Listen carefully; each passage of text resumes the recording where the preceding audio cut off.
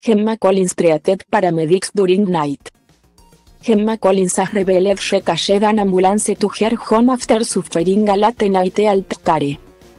De 42 year old the only way is sex star required emergency medical attention and was treated by paramedics.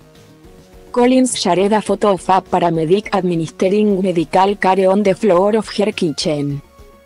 As a picture of an ambulance parked in front of her home in her Instagram stories.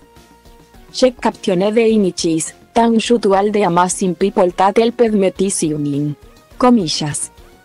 And in reference to the recent ambulance driver strikes she added, I really hope you get all you deserve. Really thankful in these current times to have such an amazing service. Comillas.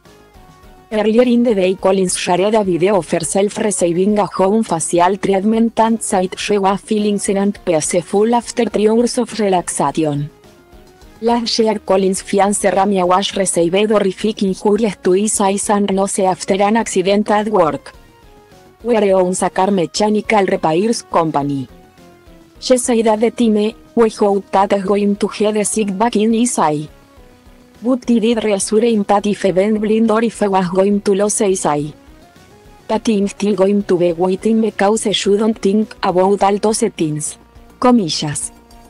The couple have been in and on of relationship since 2011 and are now hoping to become parents. Speaking about having a baby pulgada 2021, Collins said, I am trying to have a baby. Have been with my partner for a while, we don't use condoms now. The baby is going to be adored. I haven't had a baby yet, but I speak as if I was I am trying to cosmic order it up. I am going to be a child mom and I am not going to force my child into doing anything. It's going to be so happy for me. The child is going to be like royalty. Comillas. The reality television star suffers from polycystic ovary syndrome and suffered several miscarriages.